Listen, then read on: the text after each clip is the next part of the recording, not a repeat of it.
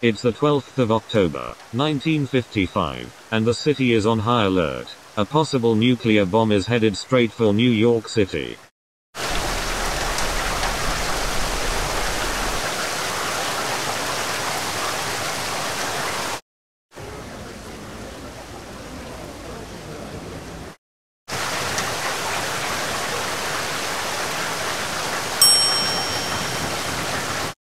Hold on honey let me just get this order done.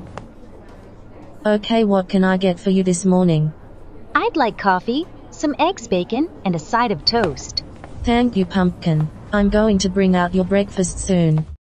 I wish we could just get out of this city for a while. Besides, it's raining again. I know what you mean. It's always so crowded and noisy here. Hey y'all good morning can I get you two some coffee? On the house. Thanks, Doris. That'd be great love.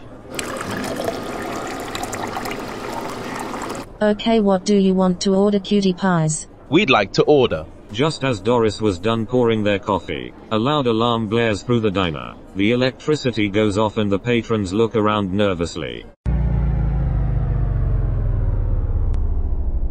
What's going on why is the power out?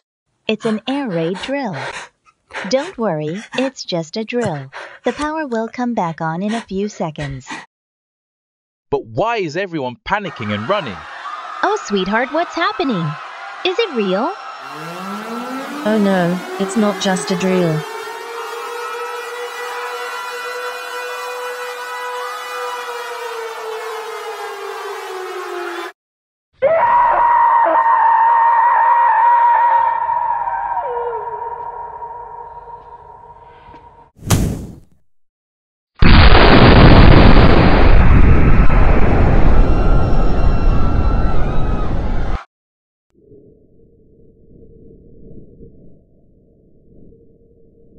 Oh, my god, is it over? We have to get out of here.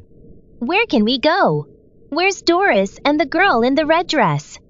I am afraid they are both dead. Now we have to move quickly. We'll figure something out. We have to.